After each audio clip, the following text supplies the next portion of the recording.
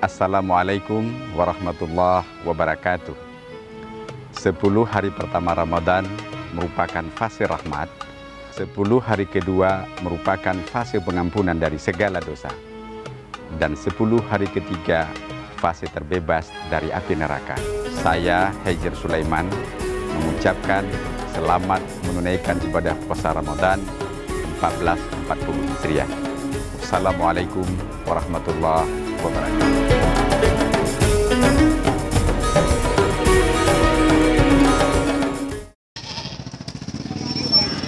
Syederalun menjelang megang Hari Raya Idul Fitri 1440 Hijriah, permintaan hewan ternak seperti sapi, kerbau, kambing, dan domba di Biren masih terlihat sepi.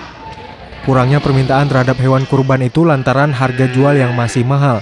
Seperti pantauan di pasar hewan Gelempang Payung, Jempa, Biren, pada Sabtu hari ini, ratusan ekor hewan ternak dijajakan di pasar itu.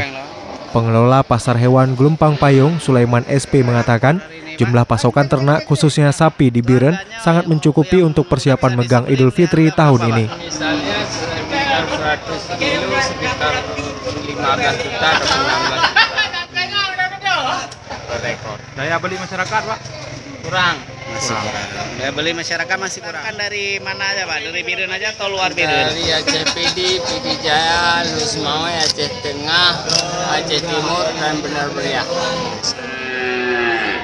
Dari Biren, Ferizal Hasan, Serambi On TV.